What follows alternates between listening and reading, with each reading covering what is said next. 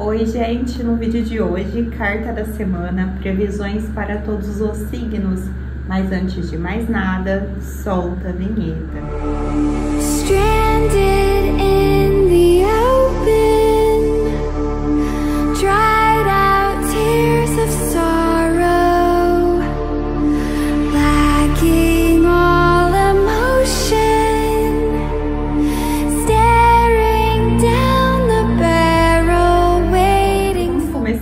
signo de Ares. Vamos ver como que vai estar a semana de vocês. Aqui me deu a carta da magia, uma boa semana para vocês de Ares. É uma semana para vocês estarem próximos do lado espiritual de vocês. Então, o que vocês querem que se resolva num passo de mágica, busque estar próximo do seu lado espiritual. Faça uma magia, vá na igreja, se conecte com o seu lado espiritual da forma que você conheça tá? Não faça nada desconhecido. Por isso que eu tô sugerindo aí até a igreja, porque a igreja também é um lugar mágico, também lá é um lugar espiritual. Então, quem gosta, vai. Quem tem ligação com outras áreas, como reiki, é, umbanda, fique à vontade. O importante é vocês usarem a espiritualidade para concretizar mudanças na vida de vocês. É uma semana boa, porque muita coisa vai se concretizar, mas tem uma coisa ou outra que vocês vão precisar da ajuda da espiritualidade para ver mais resultados. Então, o que vocês sentirem que tá complicado, amor, financeiro, use a magia que com certeza nesse, nesse mesmo momento, assim, que vocês estiverem fazendo, com certeza vocês sentirão algum tipo de transformação, tá bom? E agora vamos para o signo de touro. O chicote inicia uma semana muito difícil. Essa carta ela traz chicotadas, ela traz decepções e sofrimento. Uma semana muito negativa de problemas financeiros, de problemas no trabalho, de problemas de saúde. Não é uma semana muito boa, uma semana de muita decepção. Aconselho vocês se benzerem, ir na igreja, porque senti bastante energia negativa rondando a vida de vocês, tá bom? E agora vamos para o nosso próximo signo, que seria o signo de Gêmeos. A carta da raposa também é uma semana negativa. A carta da raposa, ela fala de uma semana muito ruim, aonde essa semana traz traição de maneira geral, no trabalho, no amor, com a amizade, de maneira geral você vai ter decepções. Traz para você tomar cuidado com armadilhas também no campo financeiro. Não confie em ninguém essa semana, tá? E busque ter ação. Vai ser uma semana muito difícil, mas não procrastine. Haja. Então vai correndo atrás, vai lutando, lutando, que você vai conseguir é, trazer uma semana boa para a semana que vem. Mas essa carta ela traz bastante gente querendo te atrapalhar, bastante inimigos à sua volta, tá?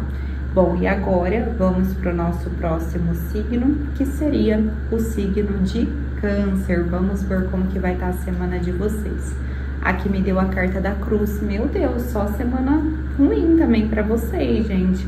O signo de câncer traz a carta da cruz, que fala para tomar cuidado com acidentes na estrada, Fala também de karmas, então com certeza vocês vão estar tá tendo algum tipo de sofrimento essa semana. Não faça nada de ruim para ninguém, porque se você fazer alguma coisa de ruim para alguém, você pode ter um karma, uma lei do retorno, então muito cuidado. Uma semana de muito julgamento, de muita cobrança, de muitos problemas.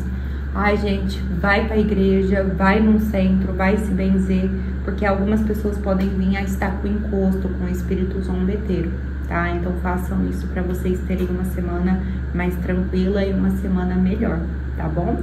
E agora vamos para o nosso próximo signo, que seria o signo de Leão.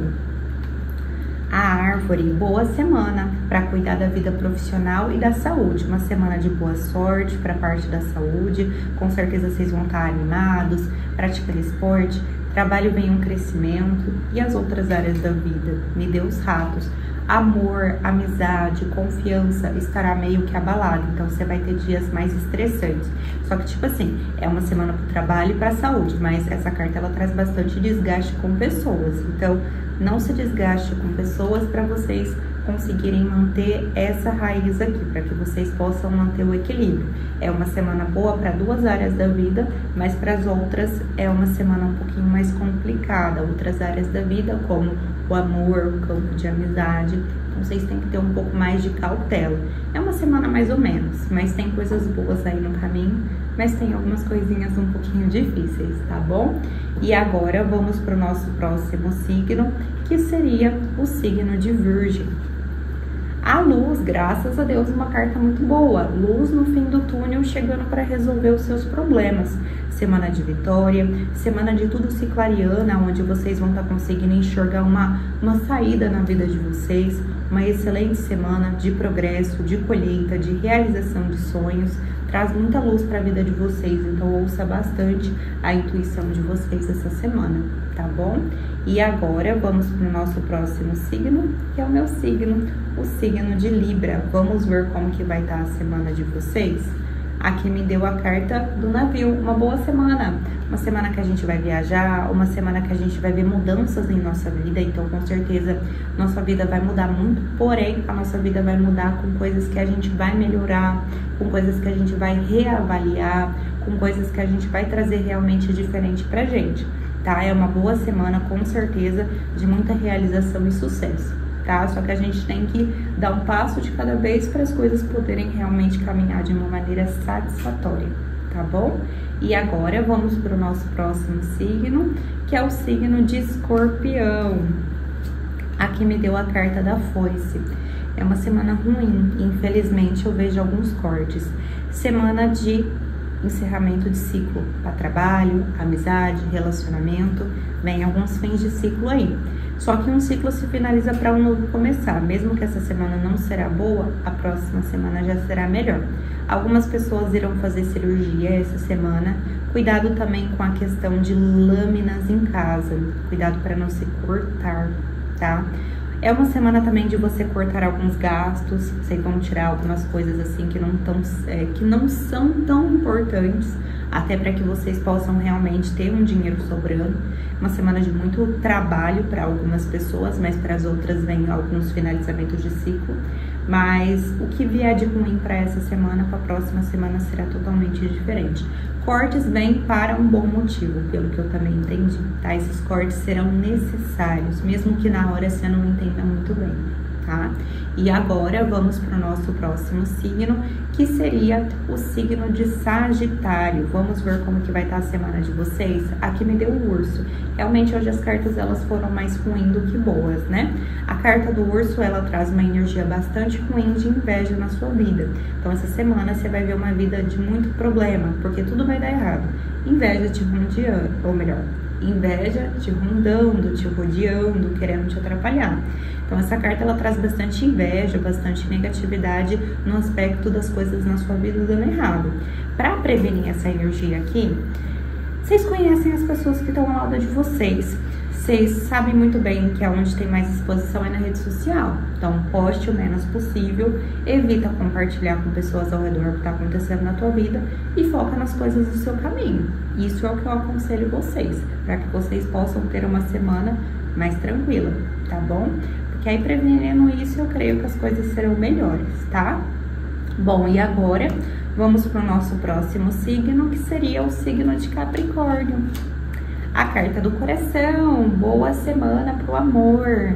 É uma semana maravilhosa para o amor, para as coisas poderem se resolver. Pessoas que você gosta estará à sua volta. Fique próximo das pessoas que você ama, das pessoas que você sente mais afeto, mais afinidade.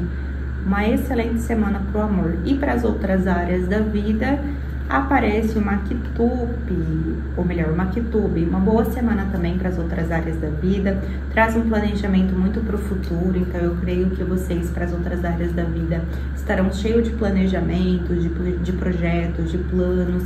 A tendência é que seja uma semana bastante produtiva e boa, tá? E agora vamos para o nosso próximo signo, que seria o signo de Aquário.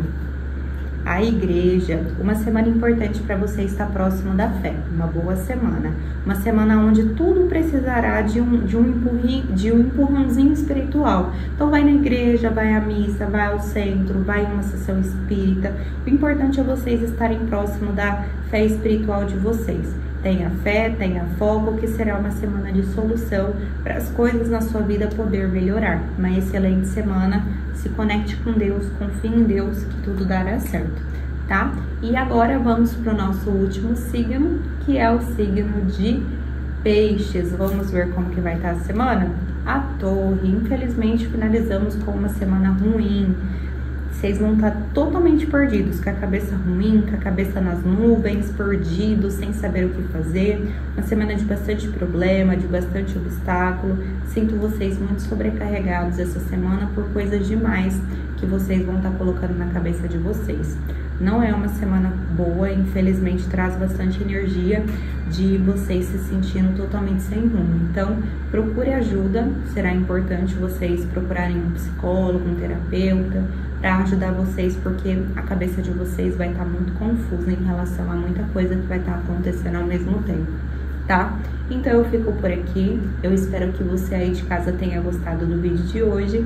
E se você gostou, não esqueça de se inscrever no meu canal, ativar as notificações e curtir muito meu vídeo se vocês gostaram. E até o próximo vídeo.